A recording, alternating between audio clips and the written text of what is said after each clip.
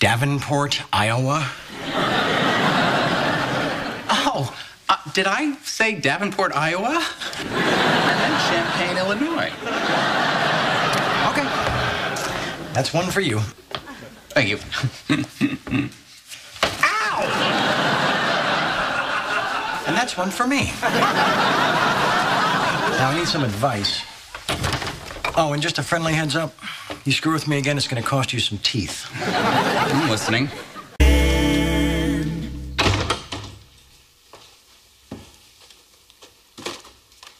Charlie?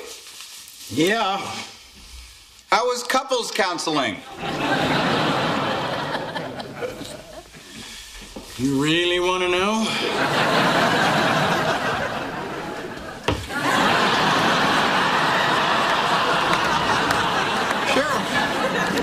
Tell me everything. Oh. Ow. Why? Why would you do that? You know, uh, I've been asking myself the same thing, and the only thing I can come up with is it's really, really funny.